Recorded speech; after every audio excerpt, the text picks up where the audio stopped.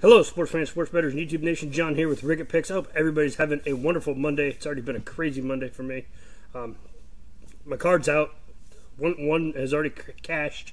Drake first half. Um, they're, absolutely smashing right now.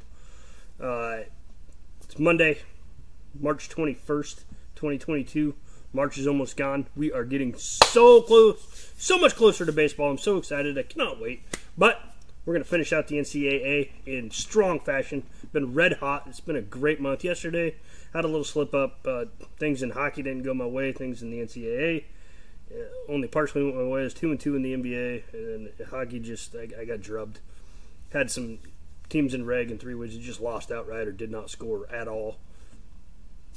Life goes on. Can't win them all, but uh, you know we're going to jump right back into it.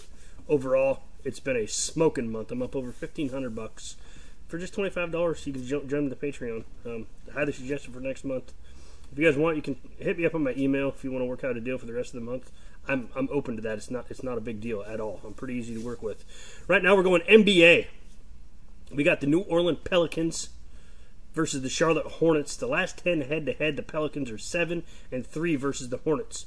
The last time they played, the Hornets scored 142 points. They won the game 142 to 120. 260 points were scored in that game.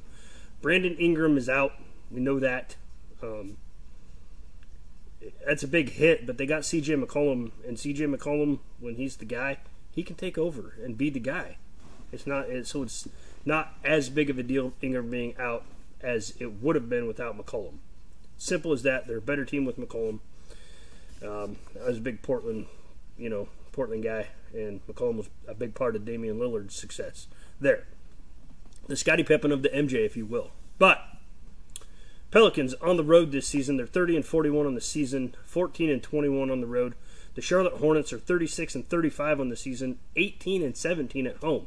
So they play about 500 ball at home. Uh, the, the the score in the last 10 head-to-head matches, the average score is Charlotte 115, New Orleans Pelicans 115. This game is going to be a good game. Um, the, the over under right now sits at 233 and a half which um, that's a lot of points but the last time out they scored 262 so i don't see why it wouldn't go over that. I think there's going to be some points scored in this game. Um, i think the pelicans plus six is worth taking a shot at. Um, just looking at the past head-to-head experiences i don't think charlotte's going to come out and pace them again.